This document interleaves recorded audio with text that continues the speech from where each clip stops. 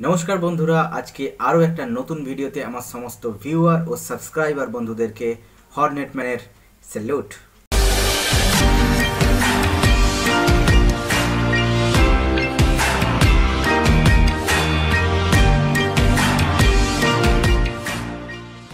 আগে একটা সময় ছিল যখন গাড়ি স্টার্ট করলেই গাড়ি থেকে সাদা অথবা কালো ধোঁয়া বের হতো। জ্বালানি সিস্টেমের কারণেই গাড়ির এই ধরনের ধোঁয়া তখন বের হতো।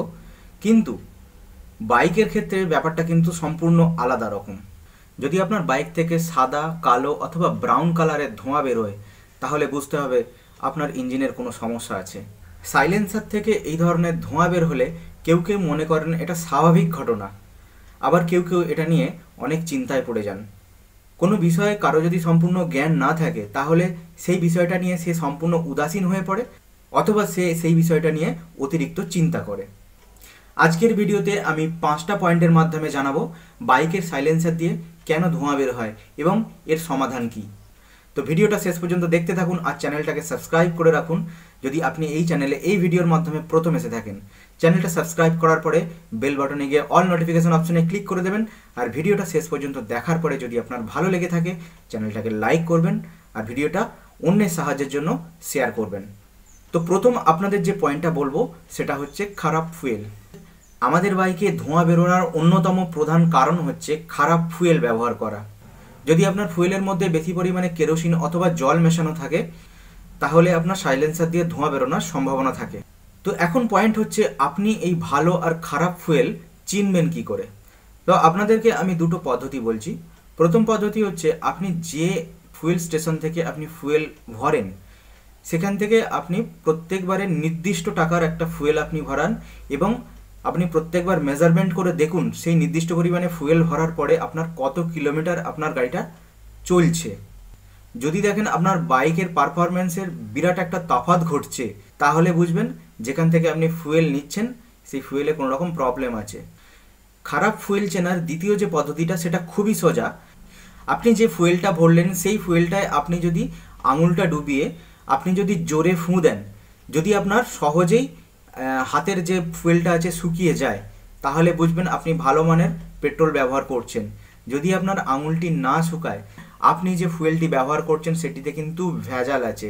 তো সেই ফুয়েল স্টেশন থেকে আপনি তেল নেওয়া বন্ধ করে দিন। দ্বিতীয় যে পয়েন্টটা বলব সেটা হচ্ছে ইঞ্জিন অয়েল।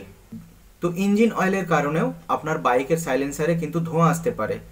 ইঞ্জিন অয়েল যদি আপনি খারাপ মানের ইউজ করেন, অথবা আপনি ডুপ্লিকেট ইঞ্জিন অয়েল ব্যবহার করেন, অথবা যদি আপনি ইঞ্জিন অয়েলকে চেঞ্জ করতে অনেক দেরি করেন, সেক্ষেত্রে কিন্তু আপনার সাইলেন্সারে ধোঁয়া আসার সম্ভাবনা বেড়ে যায়। কোনো কারণে যদি আপনার ইঞ্জিন অয়েল লিক করে, সেক্ষেত্রে আপনার ইঞ্জিন অয়েল কমে যায়, তার ফলেও কিন্তু সাইলেন্সারে ধোঁয়া দেখা দিতে পারে।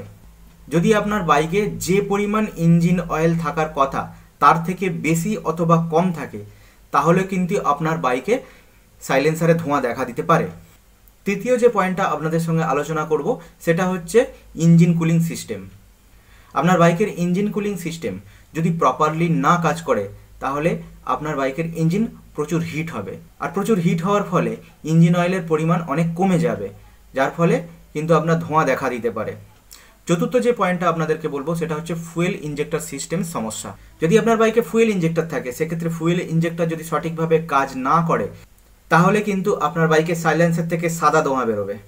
অনেক দিন ধরে ফুয়েল ইঞ্জেক্টর যদি ক্লিন না করা হয়, তাহলে এর মধ্যে ময়লা পড়ে এর কার্যকারিতা অনেক কমে যায়। এর জন্যই সঠিকভাবে এয়ার আর ফুয়েল সঠিকভাবে বার্ন হতে পারে না, আর তার জন্যই সাইলেন্সার থেকে সাদা ধোঁয়া বেরোয়। পাঁচ নম্বর পয়েন্ট যেটা আপনাদের সঙ্গে আলোচনা করব, সেটা হচ্ছে বাইক ওয়াশের সময় তেল জাতীয় পদার্থ লাগা। অনেক সময় বাইক ওয়াশের পর তেল দিয়ে বাইকটাকে পরিষ্কার করা হয় সেক্ষেত্রে সাইলেন্সারের আশেপাশেই তেল লেগে থাকার জন্য সাইলেন্সার গরম হওয়ার সঙ্গে সঙ্গে সেগুলি ধোঁয়া আকারে বেরোতে থাকে। অনেকে এটা দেখে চিন্তায় পড়ে যান। তো সেক্ষেত্রে কোনো রকম চিন্তা করার কারণ নেই। এটা একটা স্বাভাবিক প্রসেস এটা কিছুক্ষণ বাইক চলার পরে অটোমেটিকলি এটা এমনি এমনি ঠিক হয়ে যায়। এই ভিডিওতেও আপনাদের জন্য আরেকটা বোনাস পয়েন্ট যদি আপনার বাইকের পিস্টন ত্রুটিযুক্ত হয় ধরুন বাইকের পিস্টন ফুটো হয়ে তেল বেরোচ্ছে, অথবা ভালভের যে সিলগুলি আছে সেই সিলগুলি ত্রুটিযুক্ত।